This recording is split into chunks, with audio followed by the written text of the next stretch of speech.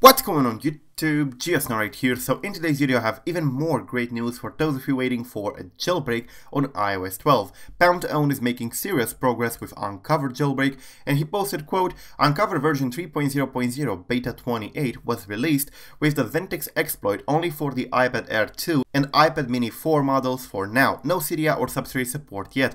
However, he is doing very good progress on that department as well, because he posted after that, quote, Cydia and Substrate support for iOS 12 will be released as soon as it is ready, public testing. We're working on it, please be patient. And then he followed it up with this, quote, what's left for the first public beta? Well, fix a bug in CoreTrust workarounds, fix the sandbox patches, clean up the implementation, do more private testing to make sure that it's safe, and that is pretty much it. Now, speaking of Cydia and the substrate, he posted, quote, successfully got tweaks running with Cydia substrate on iOS 12.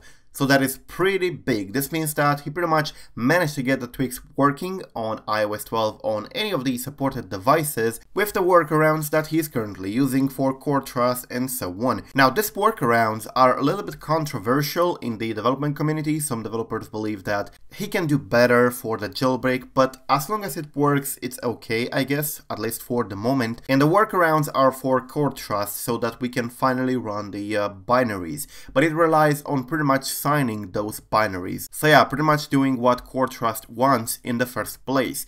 But anyways, it works and as you can see it says in here that the uh, tweaks are finally running. Now clearly not all tweaks and there is a lot of testing that has to be done before this is released, but we are making huge progress and it's the first time we see tweaks running on iOS 12 with the Unc0ver. In this case, when this will be released, it will have full tweak support and of course Cydia, so that is actually great. If you remember, saurik is behind all this as well. He helped a lot the Unc0ver team and he updated his tools like Cydia and Substrate and so on to work with iOS 12 and of course with the Unc0ver, which is something great considering the fact that saurik doesn't have a lot of time to begin with. The fact that he helped the uh, jailbreak community and Unc0ver is actually something we should be thankful for. However, I would definitely recommend you to go ahead and save your blobs with TSS Saver by 1Conan, available at tsssaver.1conan.com. All you have to do doing here is to plug in your device, get your ECID from iTunes, and of course it's in hexadecimal format, you're going to have to place it in here,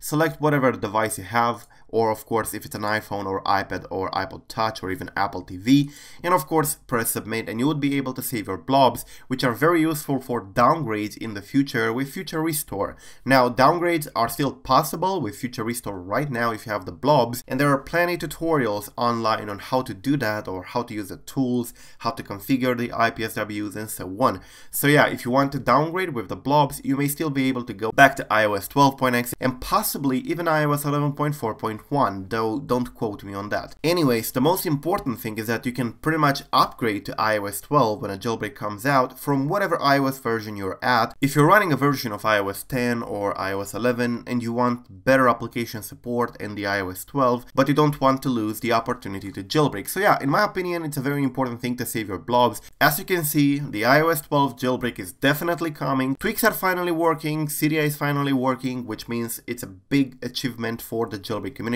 And finally, we're very, very close for a final release of the Unc0ver for iOS 12. Thank you for watching, don't forget to subscribe to stay updated, we'll keep you updated with anything that's going on in the jailbreak community. Till the next time, peace out.